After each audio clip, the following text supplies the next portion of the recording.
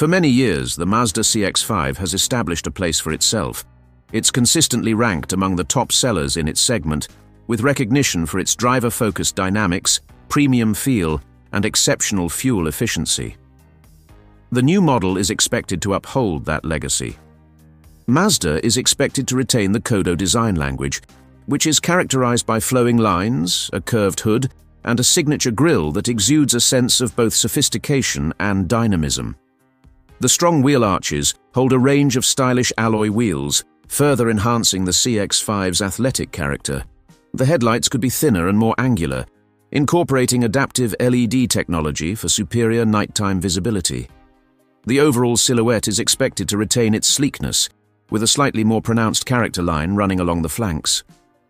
The interior of the 2025 CX-5 is rumoured to be a significant leap forward. The dashboard layout is expected to be driver-centric, with a focus on ergonomics and intuitive control placement.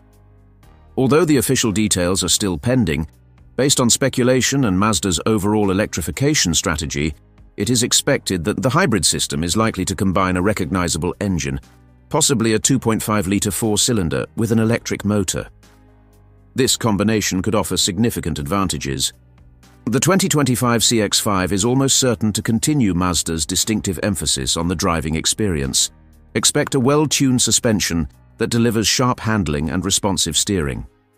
The framework is likely to be further refined, offering a dynamic driving experience. All-wheel drive is a standard feature in the CX-5 lineup, and its presence is almost certain to continue in the 2025 model.